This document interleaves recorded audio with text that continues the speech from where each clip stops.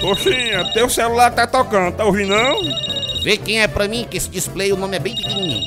É o doutor Abraão Freire, teu advogado. Vixe, o que será que essa carniça tá querendo? Que é bem dinheiro emprestado pra poder pagar a prestação do carro dele. E aí, tu vai atender ou não vai atender? Vou, me daí.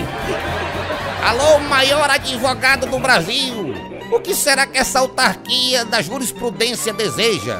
Coxinha, é sobre aquele processo. Posso botar pra frente? Pra frente, pra trás, pro lado, pra cima, do jeito que você quiser, eu assino embaixo. Você sabe que eu tô nas suas mãos.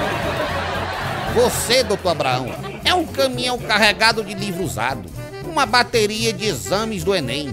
É ou não é, Isaías? E não é, não é? Tá certo. Então, a partir da semana que vem, vamos resolver essa pendência logo com a justiça, viu? Tá certo, o maior defensor público do Brasil.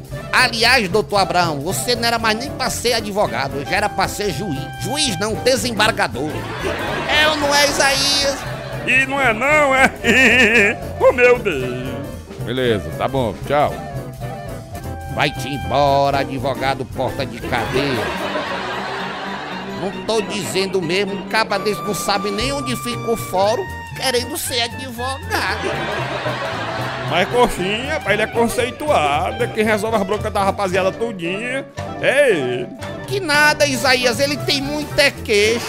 E comigo é assim, advogado cheio de Lero White, não procedeu?